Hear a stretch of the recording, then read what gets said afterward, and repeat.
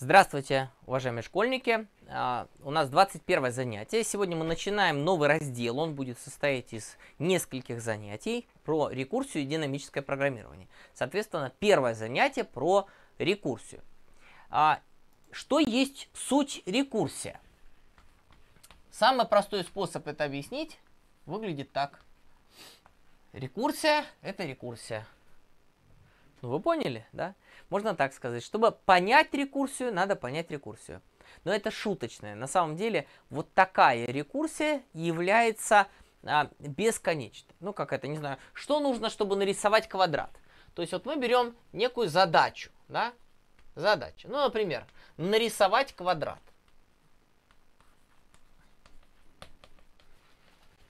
И я говорю, как будем решать эту задачу? Я говорю, очень просто. Метод решения. Чтобы нарисовать квадрат, надо нарисовать квадрат. У меня получится? Нет, не получится.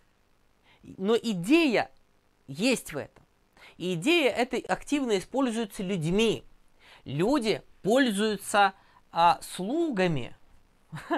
Они пользуются, ладно, услугами друг друга. Люди делегируют друг другу выполнение каких-то вспомогательных задач. Да? Времена рабства прошли, но тем не менее люди нанимают других людей ради выполнения конкретной задачи. Ставится некая задача, да, которая является частью общей задачи. Ну, че, не знаю, там, убрать дом, да, и человеку нужно помыть полы, да, и он нанимает уборщицу, чтобы она мыла полы. Ну, или там офис, да, ему нужно регулярно, да, выполнять эту подзадачу. Эта подзадача, она спускается соответствующему человеку, который ровно ее делает, да. Это, вообще говоря, называется словом декомпозиция. Декомпозиция. То есть я вообще этому вас в целом так потихоньку учу, да, хотя мы занимаемся в основном чем? Языком C++ в рамках там не очень глубоко, да, но тем не менее языком C++ и алгоритмами, да, но немножко все-таки декомпозицию я делаю, иначе программный код будет трудно читать, да, я его разрубаю на функции. Кто такая функция? Кто такая функция? Это некий черный ящик, ну, с точки зрения пользователя, в который я могу, как бы, не знаю, как в дырочку какую-то, да, взять, засунуть ему некие параметры, да, эту, как это называется, мясорубку такую, да, кухонный комбайн, да, а она мне, да, выплюнет некое значение, да, как она его обрабатывает, меня до некоторой степени не волнует. Главное, чтобы это соответствовало поставленной задаче, да. То есть в этом смысле вы ставите задачу уборщицы помыть полы, и как она будет полы мыть? Маленькой тряпочкой, большой тряпкой, она э, зубной щеткой, или она выпустит 10 роботов-пылесосов, вас не очень сильно волнует, да? Вы приходите, видите чистый пол, вы довольны результатом, да? Вот. Но интересно то, что мы как бы решаем большую задачу, и вот эта постановка задачи и решение задачи да, является частью, вот, декомпозицией. Мы разбили, мы придумали, какую маленькую подзадачу можно выделить, да, и она получилась. Да, вот мы ее можем делегировать, ее кто-то выполнит за нас. В программировании, соответственно, это функция. Да? Так вот, смотрите. В самом действительно идея рекурсии состоит в декомпозиции, но особенной. Особенность этой декомпозиции в том, что задача должна разбиваться на подзадачи, аналогичные исходной. Ну, допустим, я, не знаю, там какой-нибудь черепашкой или еще каким-нибудь исполнителем рисую квадрат. Ну, сложно разбить рисование квадрата на рисование квадрата. Это как-то, ну, ну, то есть, ну, нарисовать квадрат, это нарисовать 4 раза, нарисовать его сторону, да, и все. То есть задача, э, не, как сказать, она не совсем допускает рекурсию, она не, она не про то, она не про рекурсию. Сама задача. Но я могу сказать так, а давайте на, нарисуем квадрат, такой вот специфический, нарисовать квадрат, да, который содержит квадрат да, содержащий квадрат. Да? Хм. нарисовать квадрат, содержащий квадрат. Да какой? Да точно такой же, да? Я вот так вот это сделаю как бы особенно. Квадрат. Это не совсем квадрат. Это уже квадрат-фрактал будет. Квадрат, который содержит квадрат. Да? Ну, как это может выглядеть? Да, я только чуть-чуть поровнее сделаю, чтобы красота возникла. Соответственно, я говорю, так, чтобы нарисовать такой, в кавычках, квадрат, который я хочу, надо мало того, что нарисовать квадрат, да, требуется еще и внутри него нарисовать квадрат. Я этот квадрат буду рисовать со смещением на а, четверть стороны, ну, то есть половина, половина, половина, половины. Да, и, соответственно, у меня будет получаться вот такой квадрат. Да, внутри квадрата квадрат. Да? Я говорю, отлично. Но на самом деле, чтобы нарисовать вот этот квадрат, надо мало того, что нарисовать четыре стороны, так еще и в нем внутри нарисовать квадрат. Я беру половину половины, а, половину половины, половину половины, да, половину половину. Вот я делаю оп и рисую квадрат. Ну, у меня, правда, сейчас может не совсем все ровно получаться, вы уж меня простите. Да, я, я стараюсь, как могу. Да, но тем не менее, я не, не художник-абстракционист. Да, и в результате Получается вот такая интересная красивая фигурка. Ну, правда, вопрос вот в чем. Кроме красоты, есть ли какой-нибудь у нее смысл? Да, я, если честно, э, смысла сюда никакого не вкладывал, просто хотел показать вам красоту, фрактальную красоту, да, и некое такое визуальное изображение рекурсии, да, что она, как сказать, нам дает. Так, сейчас, секундочку, не похоже туда. на иллюстрацию Пифагора. Ну, да, похоже, только она здесь, как видите, это, что называется, Только она здесь много такая вот этажная. Но я уже буду сейчас быстрее рисовать, я не буду эти точки уже поставлять по-честному, да. Я уже буду просто вот малевать. Но вопрос вот в чем. А сколько времени я должен провести в, рис в рисовании вот этих вот квадратов? А вот сейчас я что должен делать? По идее, сейчас я должен взять заточить этот мел тонко-притонко и продолжать рисовать эти квадратики. Понимаете, вот я... И я начну дальше это делать, и дальше это делать. А, ну и слушайте, я уже не могу измельчить, у меня объектива камеры не хватит, чтобы вы заметили смысл производимых мной действий. Они мизерные. Но ведь я действую математически точно и строго, и я продолжаю рисовать этот квадрат. А, я продолжаю, по идее, я должен продолжать это делать. Как что? Бесконечно? Нет, если это истинный фрактал, то теоретически я должен продолжать это делать бесконечно. Понимаете, да? Если это истинный математический фрактал, то меня интересует некое предельное действие, да, вот предел математический. Но, извините, э, в программировании мы работаем в рамках нашего конечного времени вычислений.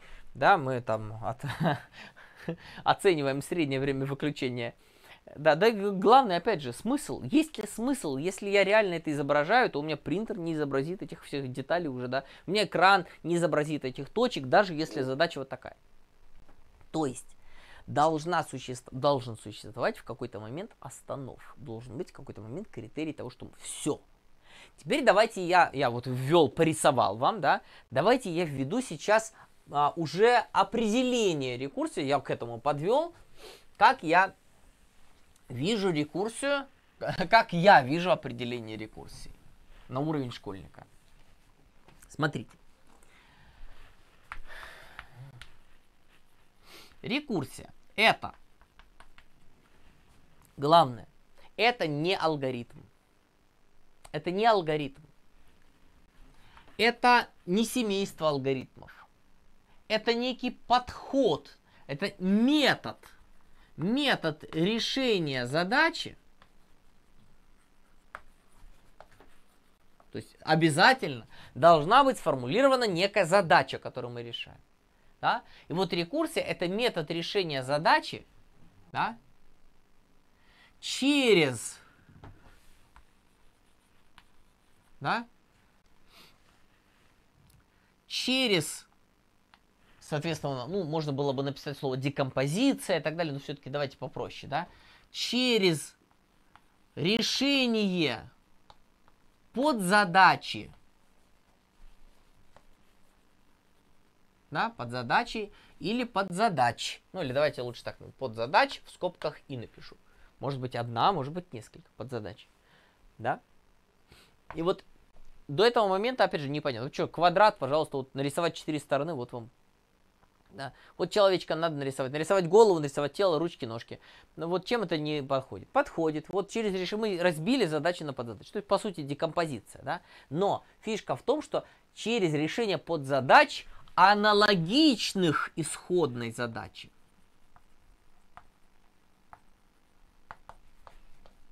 Аналогичных исходной задачи. Да? Ну и опять же, можно сказать, а, а в чем тогда проблема? Чтобы нарисовать квадрат, надо нарисовать квадрат. Проблема есть. Надо, чтобы эти задачи были проще. Да, вот это очень важно. Но, это важное но. Аналогичных исходной задачи. Но проще нее. А что это значит? Ну что значит проще? То есть к этому слову можно задать некие дополнительные вопросы. Проще нее. То есть, соответственно, ближе к крайним случаям. К крайнему, ну или лучше крайним случаям. То есть, ближе к крайнему случаю. Крайним случаям. Как часто бывает при описании одной штуковины, выползает еще парочка штуковин. Крайним случаям. А кто такие крайние случаи вот эти вот? Да? Я свел, объяснил вроде как, что такое проще, да, но что значит ближе к крайним случаям? Вот. Ну, тут очень хорошо рассказать сказку «Репка». Вот. Если вы ее знаете, то вам будет довольно легко и интересно про нее послушать. Соответственно, как известно, посадил дед что? Репку. И сказал, расти, расти, репка крепка, расти, расти, репка сладка. Да, выросла репка, сладка, крепка, да, большая-пребольшая, да? Вот, стал дед репку рвать. Да, тянет, потянет дед. А вытянуть не может. Дед не совсем сегодня красиво получился. Но тем не менее. Ладно, дед как дед. Тянет, потянет. На то он и дед, в конце концов. Красивым быть не должен. А в чем тут фишка? Причем тут вообще рекурсия? Дело в том, что репка фактом своего вырастания, да, она поставила деду задачу. Вытяни меня, да? Сообщи мне для того, чтобы я вытянулась, некое усилие. То есть, смотрите, я нарисую вот так вот, но ну, это не приложение направления силы, а именно постановка задачи. Деду, как некой функции, да, приходит задача выдать, например, 200 ньютонов. А у деда силы всего лишь на 100 ньютонов. Он не может больше. Да? Ему нужно тягловая сила на 200 выдать. И он берет и свою задачу разбивает да, на, собственно, часть, которую делает он, да, и некую подзадачу. Как известно, позвал дед бабку, да, позвал дед бабку и сообщил ей, бабка, мне требуется усилие 100 ньютонов, выдай мне, пожалуйста, на гора 100 ньютонов. Да, бабка, конечно, сильная, добрая, да, тянуть может, может тянуть бабка? Да, может, но не очень сильно. Дорогая бабка тянет, потянет. И как известно, что вытянуть не может. А в чем дело? Почему она не может решить поставленную задачу? Потому что у бабки силы всего на 50 ньютонов. 50 ньютонов, вес примерно 5 килограмм. Старенькая бабка. Да? Как бабка решит поставленную задачу? Она придумала рекурсия. Да? Я позову внучку. Call. Да? Она вызывает функцию, функцию внучка. Да? И ставит ей подзадачу. И эта подзадача абсолютно аналогична исходной. Вот. Соответственно, у нас приходит внучка. Ой, что-то у меня нос большой внучки получился. Вот такой давайте у внучки нос. Да, волосы замечательные и коса русая. Замечательно. И бант. Люблю рисовать этот бант. Вот такая внучка улыбчивая у меня.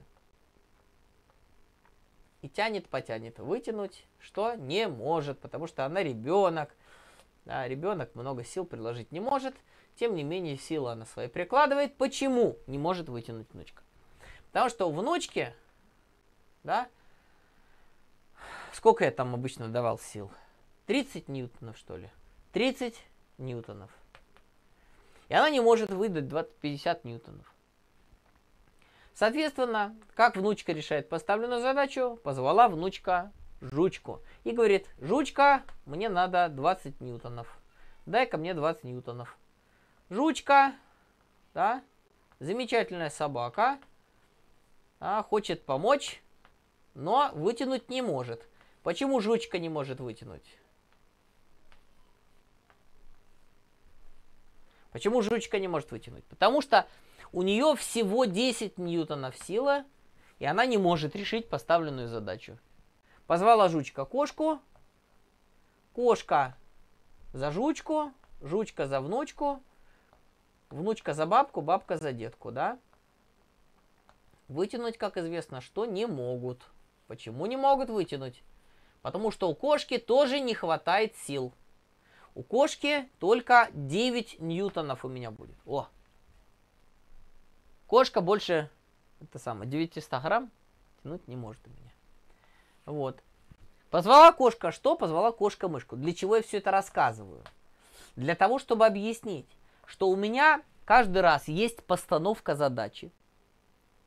Есть, собственно, вызванный экземпляр, ну, я назову словом экземпляр, как бы его вот фактическая вызванная функция, да, находящаяся на исполнении, да, которая получает параметр требуемый, да, и неким методом его решает. И этот метод каждый раз снова состоит в том, что мы, а, дай-ка еще раз вызову, собственно, э, функцию по решению той же самой задачи да, функцию, ну то есть по сути алгоритм, да, а я запущу еще раз алгоритм, да, и подожду, пока он выполнится. Обратите внимание, да, что собака не сможет выдать 20 ньютонов, дернуть за косичку за 20 ньютонов, пока кошка не дернет ее за хвост с 10 ньютонами.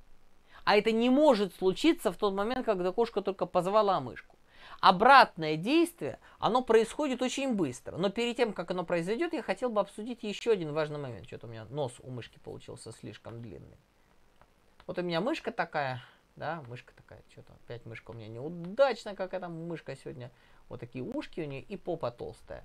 Вот она упирается своими лапоньками, да, и хвостик у нее торчит. Замечательный. Что прекрасного в мышке? Мышке надо медаль, да, и кусочек репки. За что? Дело в том, что мышка здесь нарушает всю вот эту логику. И за это-то мы ее и любим. Мышка справляется с поставленной перед ней задачей. И она решает задачу нерекуррентно. Мышка это и есть тот самый крайний случай. Я бы назвал этот случай конечным. Но ради того, чтобы в динамическом программировании не говорить потом начальный, да, а точнее, чтобы было общее слово, я назову его крайний, ну, оконечный, да, крайний случай. Да? Граничный, можно еще сказать. Да? Пограничный. И благодаря этому заканчивается рекурсия. А иначе сказка бы не закончилась никогда у нас бы это мышка позвала мушку, мушка микроба, микроб этого самого вируса, вирус, что там, молекулу, молекула там, атом, нукулон, нукулон, кварк, кварк, глюон, глюон, там, струну, да, струна какой-нибудь там математические уже там сущности. Ну, короче, смысл в том, что, еще раз говорю, да, это а, рекурсия не должна быть бесконечной обязательно наличие крайнего случая. И именно благодаря ему мы можем сказать, что задача, поставленная перед кошкой, проще, чем задача, поставленная перед собакой. Я обычно еще рассказываю вторую модель рекурсии, это матрешка. Да? Матрешка, а, чтобы сделать матрешку, нужно сделать матрешку. да? А, вот, а чтобы сделать ту матрешку, нужно снова сделать матрешку. Да? Но кто же сделает последнюю матрешку? Ответ. Крайний случай. Нужно обязательно понижать, пос, понижать количество вложенных матрешек при постановке задач. То есть, когда мы ставим под задачу, мы тем самым уменьшаем уже, да, уже уменьшаем. Говорим, нам надо сделать матрешку вложенности 3. Следующий говорит, нам надо сделать... Так вот, я вам хочу сказать, что Какую матрешку сделать проще? Какую матрешку? Где у меня? Все, потерялось? Да, матрешка куда-то делась. Короче, матрешку, какую матрешку проще сделать? Вот такого размера матрешку проще сделать, да? Или вот такого размера матрешку проще сделать? Да, вот какого? Вот что называется там, с меня ростом или вот такую? Ответ, подождите. Одно дело размер, а другое дело второй параметр а сколько вы хотите вложенных матрешек. А то, может быть, вот, эта вот матрешка, не знаю, там, вот полчеловеческого размера ростом, но зато она делается из цельного куска дерева, она сама себе крайний случай, то есть уровень вложенности у нее один, ну, ноль, можно сказать даже, да? Ну, или один, то есть там одна матрешка, никаких вложенных, неразборная, да, болванка. А вот эта матрешечка, которая вроде бы размер небольшой, а я скажу, что, например, а уровень вложенности 20 все это превращается в то есть это нужно изготовить, покрасить, сделать там вот вставку и так далее, то есть это возникает целая проблема. Поэтому не надо думать, да, что от размеров числа, да, то сколько тут ньютонов, что называется, да, здесь-то я сделал именно так, да, что именно от этого зависит сложность задачи. Иногда дело в деталях, да, и надо понимать, что э, глубина рекурсии, а глубина рекурсии это степень погружения, да. То есть, смотрите, репка, она у меня, ей никто не ставил задачу «вытяни меня, выдай мне усилия», репка – овощ. Да? Она ставит здесь задачу деду. Да? Соответственно, дед – действующая функция, которая должна выдать репке усилия. Да? Вернуть его на самом деле. Так вот, получается, что дед – до того, как позвал бабку. А ведь был такой момент, когда бабка еще не появилась даже на горизонте. Да?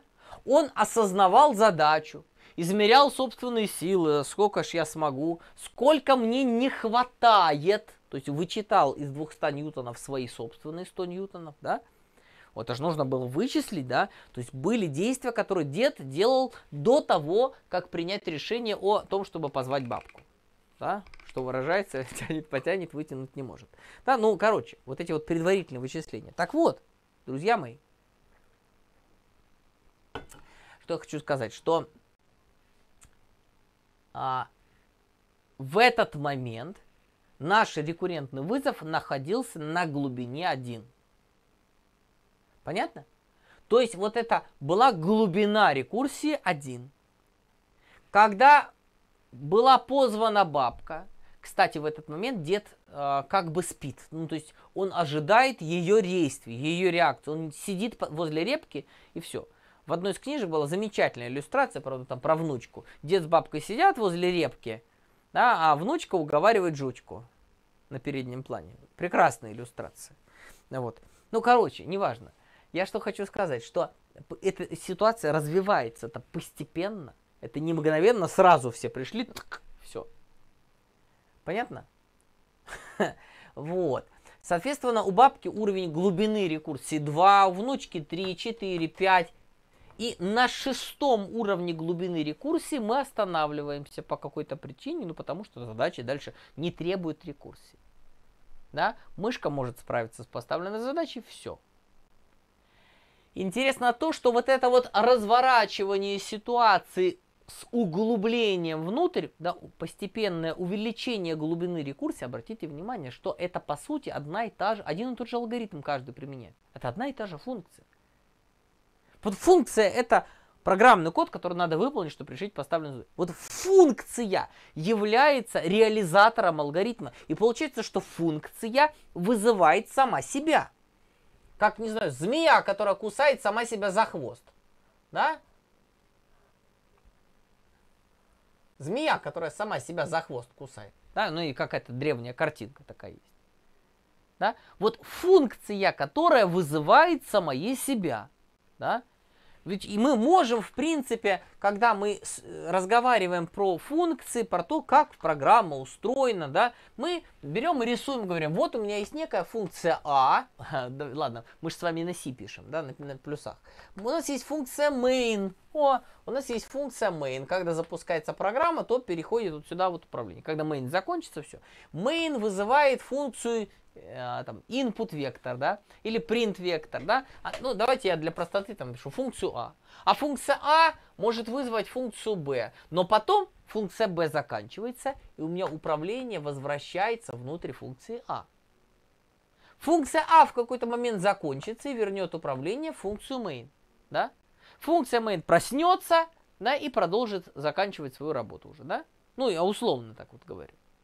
Вполне возможно, что main еще раз позовет А, та еще раз Б, и потом это вернется, потом еще раз, да, но смысл в том, что в конечном там может находится циклически. Но смысл еще раз в том, что мы, эм, что функции вызывающие, они ждут, когда закончится этот процесс. И еще важно наличие вот этого return, что происходит возврат, не только call, вызов функции, но и возврат из, соответственно, а, ну, скажем так, служебной подпрограммы в, э, ос, в более основную и совсем основную.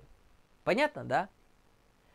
А вот если я на это, вот в этой логике захочу изобразить рекуррентную функцию, да, то есть вот я вызвал рекуррентную функцию, допустим, она называется буковкой f, да, и эта функция вызывает саму себя. Именно саму себя. Не функция dead вызывает функцию bab, которая вызывает функцию вну. Да? Она именно сама, не, не вот такая, а именно вот так. Причем это действие может повториться несколько раз. Да? Вот он как, как будто бы, что называется, этот вызов функции зациклился. Но на самом деле в специальном месте, оно называется стек вызова, ну вообще стек программа, отслеживается, сколько раз функция вызвала саму себя, какие именно параметры были, потому что на каждом слое вот этой глубины, на каждом слое глубины рекурсии будут свои копии локальных переменных. И поэтому очень важно, чтобы в переменной пользоваться локальными переменными, не глобальными. Да? Вот.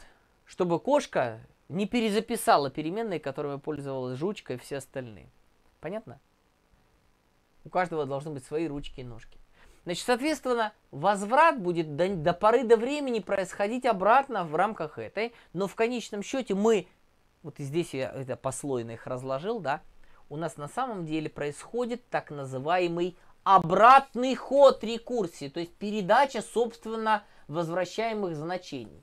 На самом деле, ну, в случае этой передачи этих значений, это происходит почти автоматически, именно этих зверей, да, это происходит почти автоматически, но на самом деле на обратном ходу рекурсии, я не буду писать, вот это, это прямой ход рекурсии, да, с углублением, да, а это обратный ход рекурсии. На обратном ходу рекурсии на самом деле что? Происходит тоже некие действия. То есть, например, там взять внучку, да, ее потянули, и она свои собственные силы интегрирует с полученными от жучки 20 ньютонами. Кстати, да, жучка, э, у нее собственных-то 10, но она возвращает внучке 20. Как? Она выданные от кошки 10 должна синтегрировать со своими, сложить и вернуть. Да? Я рисую стрелку в ту сторону, хотя вы понимаете, что с точки зрения физики сила она туда идет, да, но с точки зрения передачи, как сказать, вот этого вот импульса, да, оно идет туда. Ну, как не знаю, если бы эта мышка была локомотив, она дергала сцепку вагонов, то э, звук вот этих стыковок, он бы бежал справа налево. Короче, обратный ход рекурсии идет из, на уменьшение глубины, на выныривание, да. Вот. Ну и мы можем, в принципе, это дело даже посмотреть, да, то есть взять, написать простенькую какую-то рекурсию, который, в которой у нас будет это, репка дергаться, ну неважно, да, я буду просто вот добегать, да, и обратно выныривать. Вы знаете, я сейчас сделаю нечто совсем примитивное. Это будет сумма арифметической прогрессии. Есть вот, действительно это будет похоже на репку. Так. Репка. Вот. Я, правда, не помню, как репка по-английски. Сейчас, секундочку.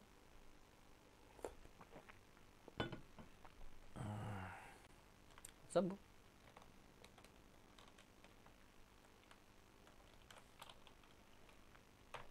Что я делаю, когда я забыл? Не пасую, я бегу и смотрю. Turnip, конечно, turnip. Grandfather pulled the turnip.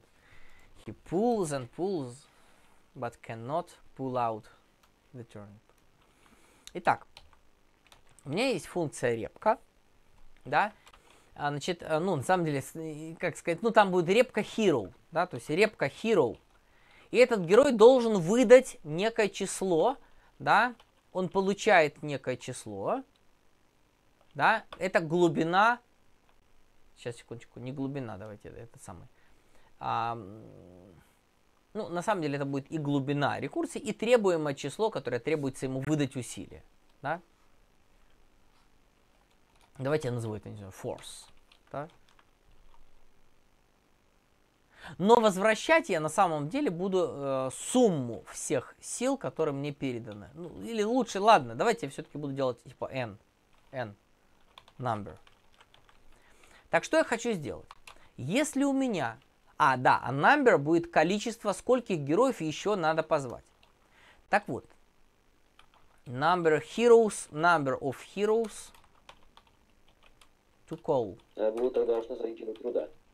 Что? А вот это должно назвать герой труда. Герой труда? Ладно, неважно, мы не будем уж совсем. Нет, хватит, хватит. Короче, если количество героев, необходимых для вызова, у меня будет равно, собственно, одному, да, то я и есть этот герой. Да, мне никого реально звать не надо. Я мышка в этом случае. Да? Я просто говорю, вау, все, я мышка, все, я мышка. Понятно? Она никого не зовет, она ничего не делает. Это не рекуррентное решение. Да? Рекурсия подразумевает наличие крайних случаев, в которых а, как, рекурсия подразумевает не рекурсию, да, что на самом последнем этапе мы никого не зовем. И это очень важно. Да? Крайний случай. Да? Это останов рекурсии. Ну вот. Ну а если нет, да, а щелени, в этом случае что мне нужно сделать? Ну, надо взять и позвать, да, позвать. И я хочу посчитать итоговую summary, да, которая получится. Summary будет состоять у меня из чего? Из того, что я позову репка hero, да, на вопрос с каким параметром, да, и к его возвращенному мне, там на самом деле будет у меня, сейчас еще раз говорю, сумма всех сил просто, да, то есть они не будут заявлять, сколько ньютонов надо, просто будут говорить, у тебе еще стольких позвать, тебе еще стольких позвать, да. Ну вот.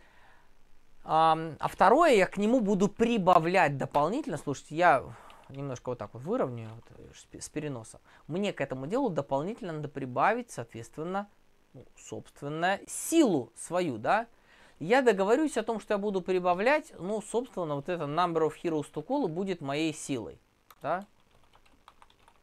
Я сейчас это дело пропишу вот так вот, да. Плюс, собственно, собственная моя сила, да. Hero, current hero force, да.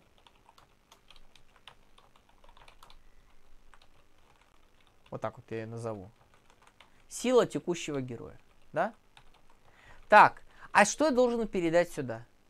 Я должен передать параметр, который будет обязательно меньший по масштабу, чем тот, с которым меня вызвали.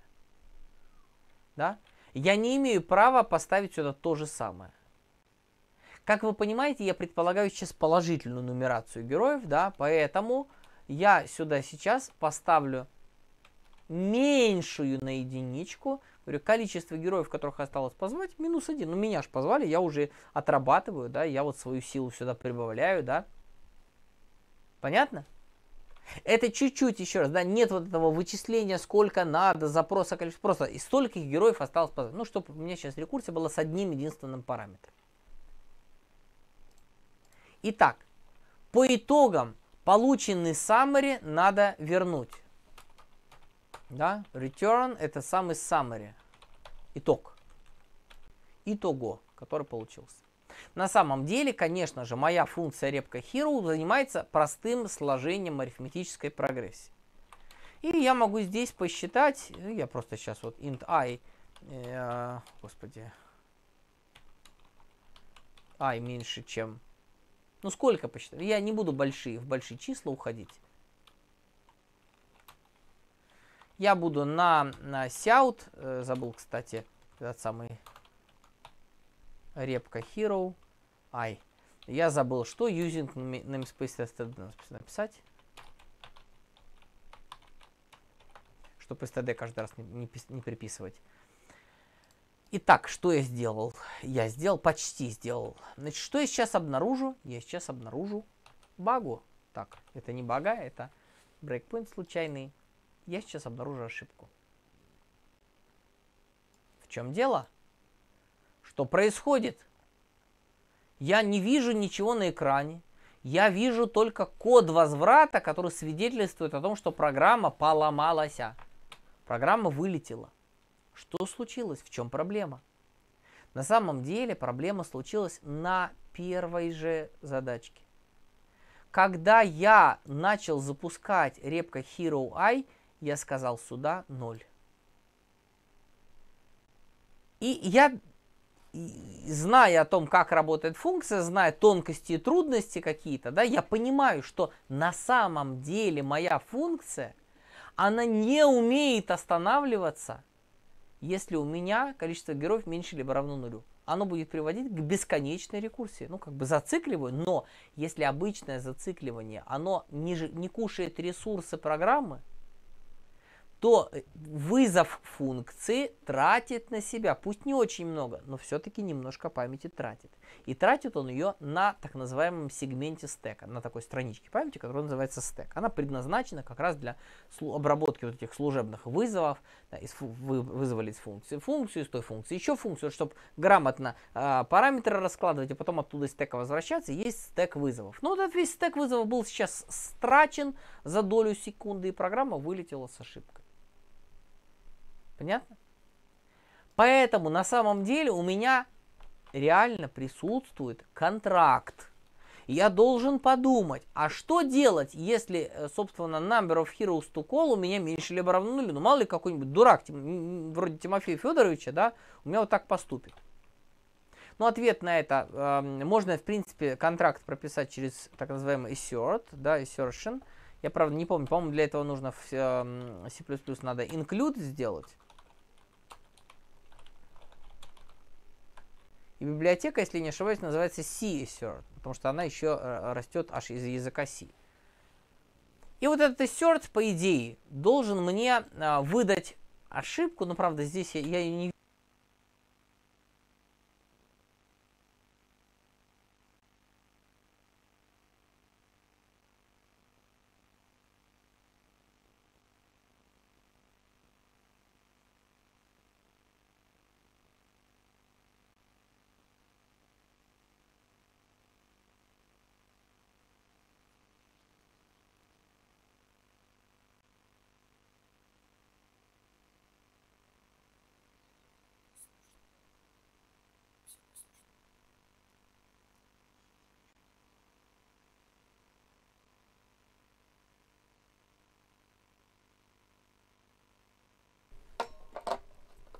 Раз, два, три. Раз. Четыре, пять. Слышно. Слава богу. Четыре, пять. Слушайте, не знаю, в чем проблема. Продолжим. Итак. Короче, в продакшн программировании используют для этого так называемые сорты, да, ну вот я не знаю, как его тут правильно передать еще и параметры, чтобы он успел проверить это дело, но мы можем попробовать более, как сказать, более устойчивый, менее э, радикальный способ, когда мы будем возвращать 0, если нам дали такую штуку. Ну, то есть это, ну, нужно просто думать иногда и о контрактах функции, да, то есть, а что нам делать в ситуации непредсказуемых параметров, да, при которых у нас рекурсия может зациклиться.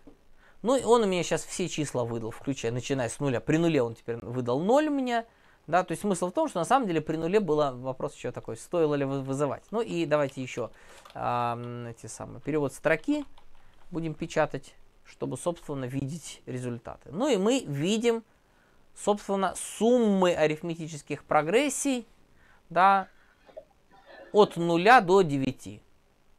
Да? Ну, в смысле 1, 2, 3, 4, 5, 6, 7, 8, 9. Ладно. Что я хотел сказать? Что на самом деле, вот если я откажусь от вот этого дела и вызову только один раз, тем не менее, я могу, про... даже не тем не менее, а именно, вот давайте, репка Hero 10. Да, ответ будет 55. Вот. Но я хотел бы, перед тем, как будет возвращен summary, собственно, немножко поболтать. Я вот здесь вот сделаю болт, болтучую функцию, которая будет мне говорить, что, собственно, эта функция вызвана вот с таким вот параметром. Да, ну, собственно, я даже не знаю, писать ли мне там что-нибудь. Я вот, вот так вот напишу. Ой, вот так вот.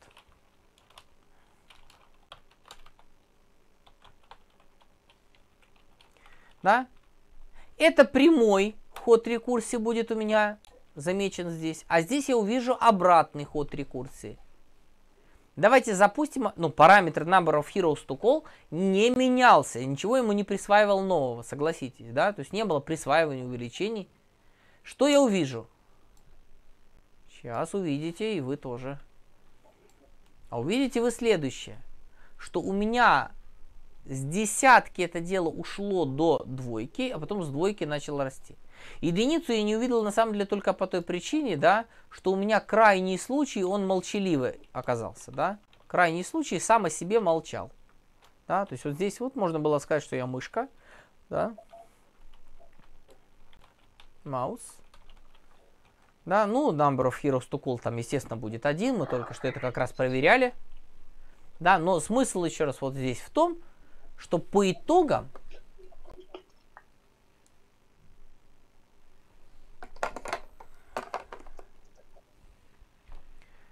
Да, так, дорогой, еще раз опустимся. Вот теперь я наблюдаю крайний случай, явным образом, да. Вот было погружение, погружение, погружение. Я добежал, ну, на самом деле, если бы я мерил не количество героев, которых еще нужно позвать, а именно текущий уровень погружения, то я бы видел ровно наоборот динамику, да, 1, 2, 3, 4, 5, 6, 7, 8, 9, да, 10 и 9, 8 и так далее до 1. А 55 это уже распечатка из функции main, там, где мы печатаем ответ. Понятно? Вот. Ну что же, значит, я сейчас вам сформулировал всю, а, как сказать, вот базовую э, часть, да, и хотелось бы какую-то интересную задачку приложить. Слушайте, ну а классика, классическая задачка, это задачка о ханойских башнях. Скажите, знаете ли вы эту задачку и постановку этой задачки?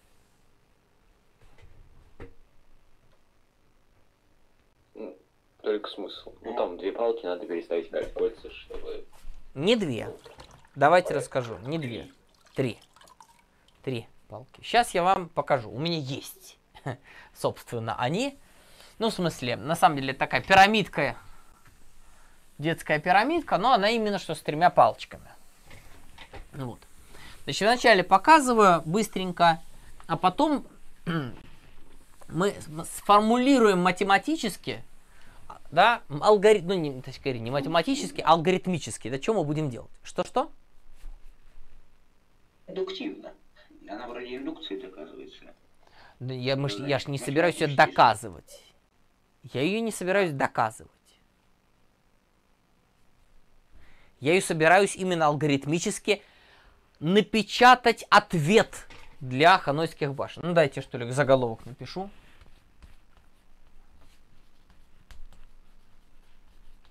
Я собираюсь сделать решатель, который решает эту головоломку оптимальным образом. Ну, на самом деле есть э, обоснование для очень простого случая. не, даже не случая, прошу прощения, а э, очень простое описание самого решения, математически можно его доказать без всякой рекурсии. Вот. Но с рекурсией красиво. Итак, у меня есть пирамидка с некоторым количеством дисков на стержне номер один. Мне нужно переложить ее на стержень номер два. У меня есть третий стержень, на который я могу перекидывать блинчики. Есть правило. Я не имею права взять сразу несколько блоков и переставить сюда. Да? Я не могу так сделать. Я не могу взять там два сразу, да, и перекинуть сюда, потом там. Я так не могу действовать. Блинчики перекладываются только по одному. Ну, блинчики или диски, не так важно, да? А, диски, лучше будет диски у меня, да? Вот. Соответственно, вопрос, а что делать теперь? Да? Ответ, ничего страшного. На самом деле я могу перекинуть вот сюда, да? И у меня освободился столбик. Да, прошу прощения. Второе правило. Вот так нельзя не должен один диск нависать над диском меньшего размера. Вот такая ситуация недопустима. Соседние это диски или вот так вот, да, то есть опять вот такая интересная ситуация. А что делать? Я сюда не могу, сюда не могу. Значит, получается, чтобы переставить вот большой блин, мне нужно освободить вот эту вот штуку, да. Вопрос, как мне быть? Я пытаюсь вот так вот, да, а что теперь делать? И, а, вернул на место, что-то не так. Наверное, вот попробуем сюда, Вау, я, кажется, смог. Ура, как же я это сделал? Я даже уже до конца. А теперь? Мне нужно эту пирамидку сюда перенести, да? А теперь внимание. Вот то, что я произнес сейчас, да, мне нужно вот эту пирамидку сюда перенести, это ключ к решению на самом деле. Дело в том, что исходная задача, она тоже состояла в том, что мне нужно перенести пирамидку. Да? Перенести пирамидку, состоящую из дисков, только дисков было 4. И я могу задачу переноса вот этой пирамидки всей целиком отсюда сюда переформулировать так. Пусть кто-то, друг дорогой, неким способом перенесет на временный столбик. Временный, да, свободный.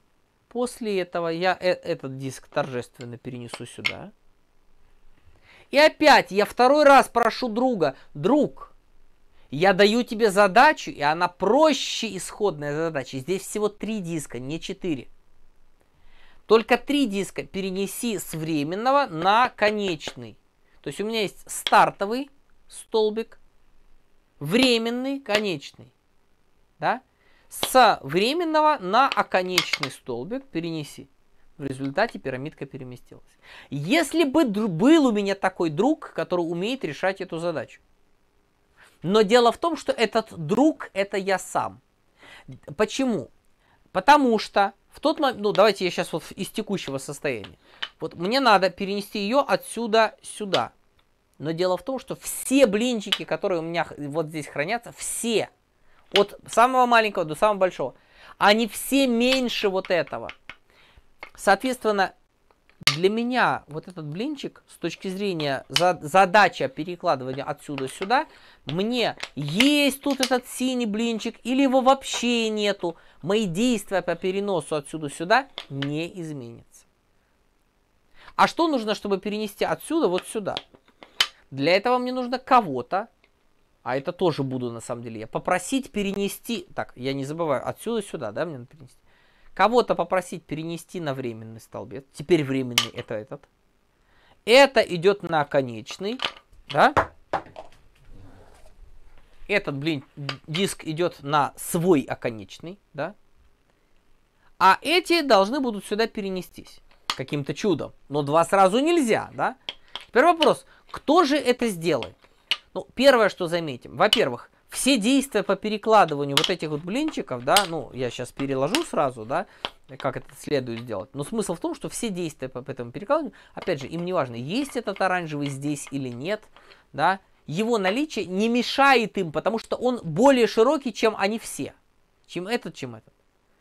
Соответственно, как перенести это вот сюда, да, это теперь стартовый, это конечный, да, для этой пирамидки, вот для данной конкретной микрозадачки, да, она такая. Кто-то перенес бы мне кто-нибудь вот эту уменьшенную на единичку пирамиду на временный столбец. Да?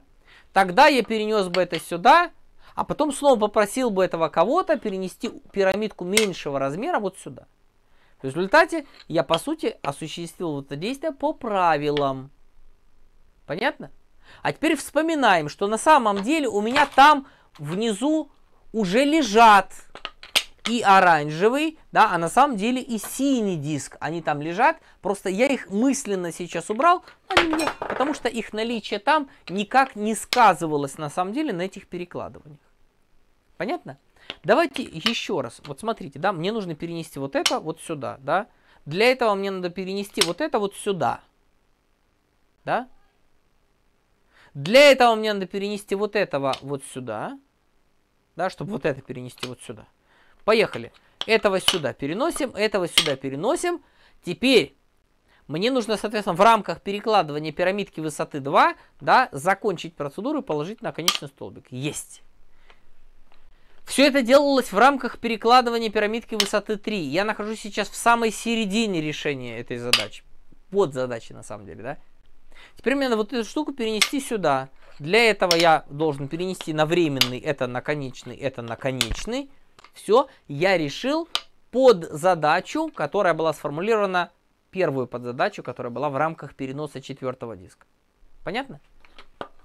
Так, теперь это все надо отправить сюда, значит это все на временный, значит желтый сюда, зеленый сюда, желтый сюда. Да? Оранжевый теперь спокойно стоит на свое место. Эту надо перенести сюда. Значит, желтый на временный, зеленый сюда, желтый сюда. Все, мы по правилам мы переставили.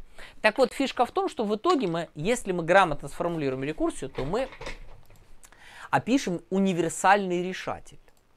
Универсальный решатель этой задачки, который будет решать ее для любых, собственно, наших...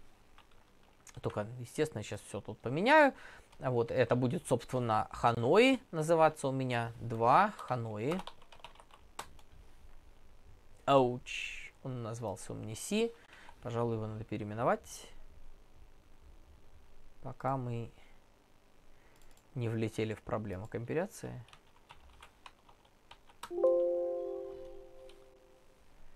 Да, и открыть его.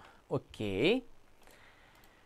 Так, значит, что я собираюсь? Я собираюсь сформулировать решатель э, ханойских башен. Я назову э, функцию тоже так, ханои. Вот. Причем функция, она будет у меня говорливая, она будет печатать решение. Она вообще будет void функция. Вопрос, а какие, собственно, у нее должны быть параметры? Отвечаю. У нее обязательно должен быть параметр количества дисков. Да? Но кроме того, у нее должно быть должны быть параметры, собственно, стартовый диск и оконечный диск. Откуда и докуда. Ну, слушайте, а, end занятое слово, я назову финиш. Старт, финиш. Это номерки моих столбиков. Не дисков, столбиков. Номерки моих столбиков. Соответственно, что я сделаю сейчас? Да, мне надо вычислить временный столбец? Нет. Первое, что нужно сделать, это осознать, не являюсь ли я мышкой в кавычках. Не находимся ли мы сейчас в крайнем случае? Не должны ли мы сейчас вместо того, чтобы э, заниматься рекуррентной разборкой, куда мы перемещаем пирамиду уменьшенного размера, осознать, а вдруг наша пирамида уменьшенного размера состоит уже из одного диска. Наша текущая пирамида. Если мне нужно просто переложить один диск не надо ничего делать. Я просто должен сказать, ребята, перекладываем, да, move, соответственно, диск номер один, в принципе, я мог бы сюда просто один вписать, да, from, ну, давайте я все-таки напишу n, from, соответственно, в кавычках. Дальше что? Start. Слушайте, мне не лень написать еще раз shout.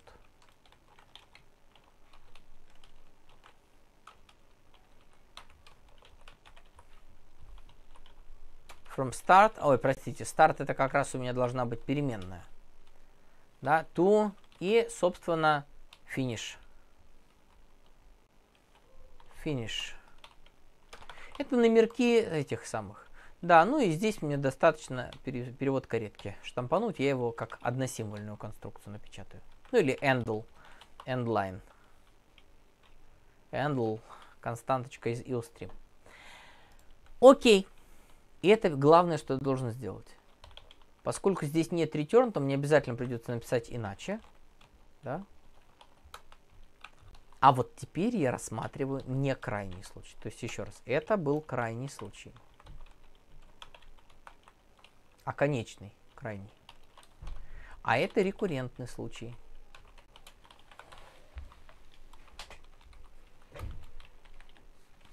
Что я должен сделать?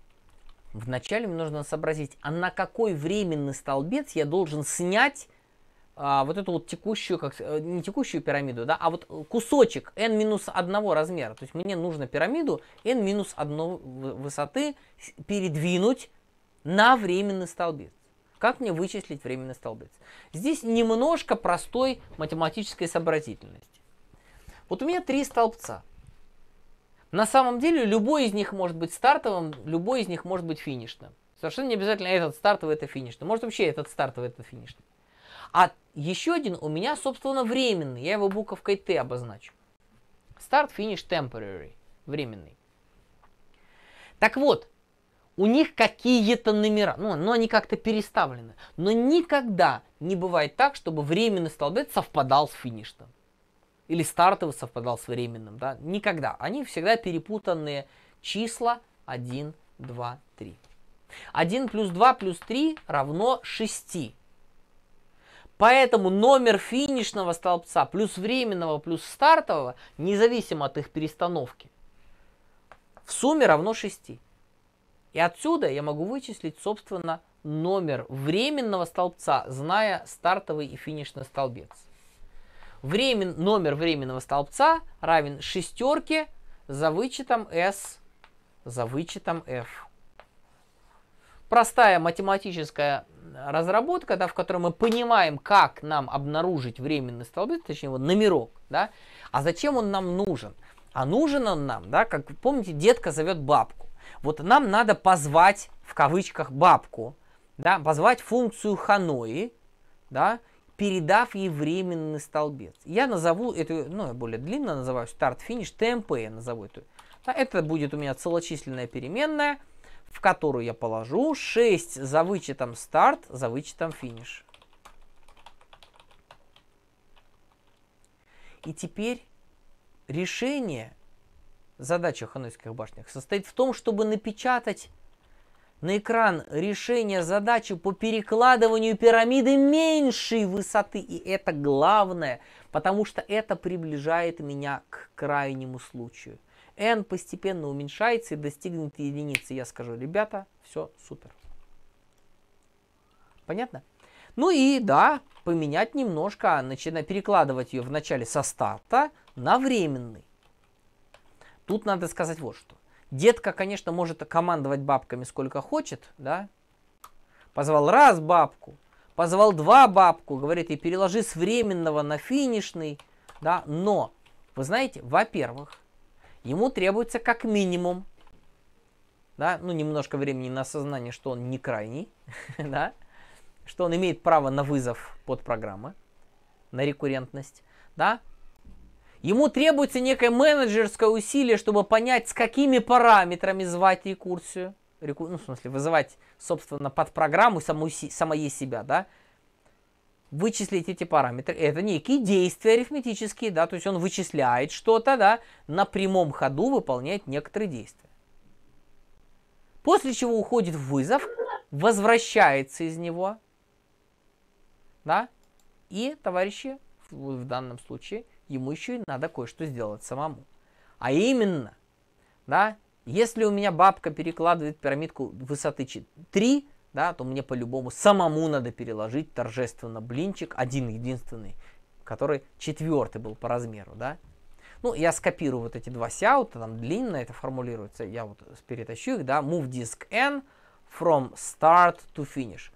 Действие это то же самое, да, в целом. Да, только там это был всегда первый, да, и я мог подчеркнуть, что это конеч... там я, в принципе, мог подчеркнуть, что это оконечное действие. Ну, я не знаю, я скажу а, слушайте, оно будет слишком часто дергаться, чтобы его сильно менять. Поэтому давайте я не буду его трогать. Вот и получается, что функция вызов- вызывает сейчас. самое себя. Извините, Да, Иван. можно вопрос? А, можете повторить значение а, переменных старт и финиш? Просто я вылетел на секунду. Старт и финиш это номера столбцов. И я сформулировал методику, как мы, зная номера стартового и финишных столбиков, с которого на который мы перекладываем. Дело в том, что ради решения исходной задачи, перекладывания с первого на второй, нам потребовалось некоторое обобщение с перекладыванием не с первого на второй, а с первого на третий, с третьего на второй, с второго на первый. То есть, вот когда я перекладывал, держ- держал в руках пирамидку сейчас, да, а, то вот, ну, было понятно, что служебная пошла сразу, в- пирамидка чуть-чуть меньшего размера, сразу с первого на третий, да. Потом там с третьего на а, первый, ну, короче, начинается вот эта вот возня такая, да, в котором надо переложить туда, переложить сюда, ясно? И поэтому мне нужно обобщить эту задачу. И поэтому я говорю, не с первого на второй, а я делаю старт и финиш параметрами моей программы Ханои. Да, у меня у этой функции становится аж целых три параметра. Но меня это не пугает, ну, ну и что? Какая разница, надо вернуть. О. Понятно? И я этими, этими параметрами аккуратно играюсь. Я говорю, так, n должно быть меньше. Ну, я реально собираюсь переложить пирамидку меньшего размера. Но как это происходит? Меня в этот момент не волнует.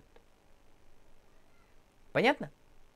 Я делаю декомпозицию, в которой я говорю, ну, этот алгоритм будет как-то решен. Как именно? Да, в принципе, по той же самой логике. Причем какая именно логика, уже не я буду решать, а тот вызов функции Ханой, в котором n будет уже меньше на единичку. Эта задача, она постепенно будет упрощаться, упрощаться, углубляясь вглубь. И, она в конечном счете дойдет до крайнего случая. Донырнув до него, она начнет выныривать.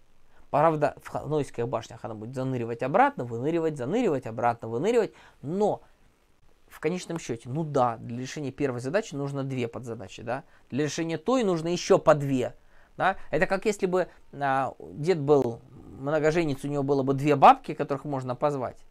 Да, ну или ладно, бабку и соседку. Да, у бабок есть по две внучки, у каждой внучки есть по две жучки, у жучки по две кошки, да, у кошки по две мышки. То есть мы здесь, а, как сказать, да, у нас ханойское решение задачи в ханойских башнях, оно а, нарастает, ну, можно сказать, экспоненциально, как 2 в степени количества блин, этих дисков, которые надо переложить.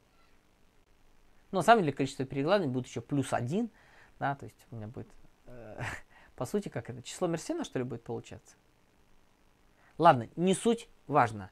2 в степени n примерно, порядка того. Давайте запустим и посмотрим, как будет работать наш решатель ханойских башен. О, он говорит, подождите, ну конечно же. Говорит, как вы, с какого столбца на какой вы перекладываете? Слушайте, если я захочу увидеть решение ханойских башен из 10 блинчиков, я его увижу. Я не имею права старт и финиш делать, кроме как 1, 2, 3. Причем всегда должны быть разные, иначе моя функция сломается. Я сейчас этот контракт не прописывал внутри функции, но я реально сам-то понимаю, пока что мы еще недалеко ушли да, от формулировки. Поэтому на самом деле стоит вот здесь вот как-то ну, написать, что ли, да, то есть вот как-то объяснить, что товарищи, да, что старт и финиш, да, не должны быть равны друг другу, да.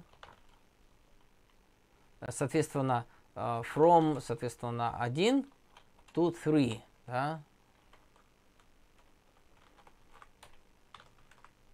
Start and finish are from 1 to 3, да. Start не равно finish.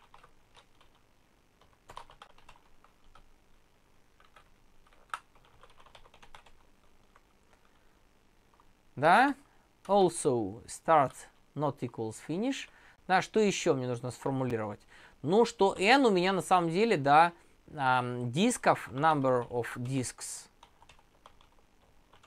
n должно быть больше нуля. На самом деле большой вопрос, а почему оно не может равняться нулю? А, ну, ответ, потому что наша рекурсия уйдет в бесконечную рекурсию и грохнется, естественно, с а, Stack Overflow. Ну, давайте сейчас посмотрим, что будет происходить в данный момент.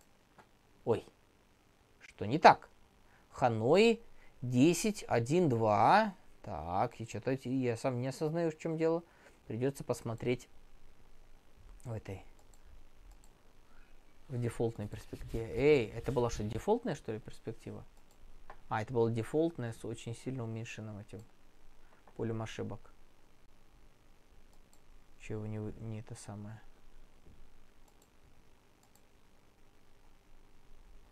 Using namespace std. Че, че такое еще раз? Сяут. Хан... А, ой, ой, ой, ну конечно, ханой вайдовая функция. Ее не надо, ее не надо выводить на экран, ее надо просто вызвать. Все, простите меня, пожалуйста, это я неправильно написал просто. Так, внимание, что мы видим? Вот это вот все. Это решение задачи по перекладыванию пирамидки высоты 10. Я его мотаю, мотаю, мотаю. Елки-палки. Но оно на самом деле это действительно, и можно доказать, что это оптимальное решение, да. Но вот в этот момент я реально нахожусь только на середине. Я реально нахожусь только на середине. Я дошел до того момента, когда пирамидка высоты 9 наконец переложена, и диск 10 может быть переложен с столбца 1 на столбец 2. И потом столько же действий по, собственно, обратному перекладыванию. Слушайте, ну тут уж слишком много, да, задачка слишком сложна для ее анализа. Давайте что-нибудь попроще. Пирамидка высоты 4. Да, это дело, в принципе, мы можем даже прогнать на моей деревянной пирамидке. Да, вот, собственно, все действия здесь прописаны, которые необходимо сделать да, в процессе решения. Да, я могу их, в принципе, прогнать. Так, друзья, а, я думаю, что а, все-таки прогонку, ну, можно вот увидеть, да, вот видите тоже, вот четвертый с первого на второй, да, в серединке этого третий как раз с первого на третий, а в процессе третьего, видите, у меня были вот эти вот, да, тройные, которые, в котором второй с первого на второй был, да, а потом второй перекладывался со второго на третий. И это было частью перекладывания пирамидки высоты 3, да, соответственно, с первого на третий. Да? Чтобы был чисто столбец под перекладывание четвертого с первого на второй. Ну, слушайте, а, я надеюсь, что вы еще посмотрите на это дело детально –